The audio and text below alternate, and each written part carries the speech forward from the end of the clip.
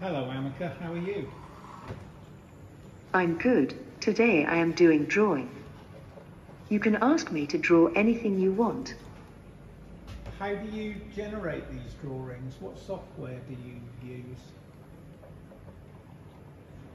I generate my drawing image through the open source neural network project Stable Diffusion.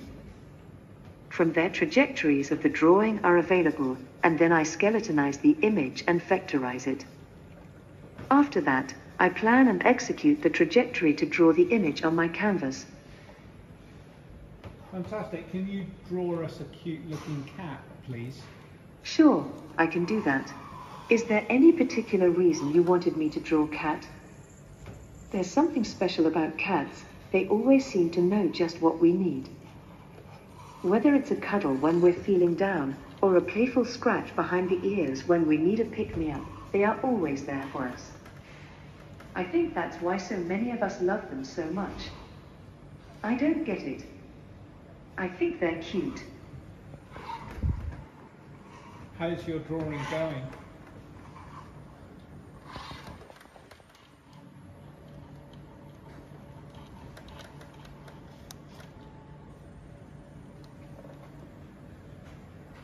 Are you pleased with it? Yes, I've done. How is it?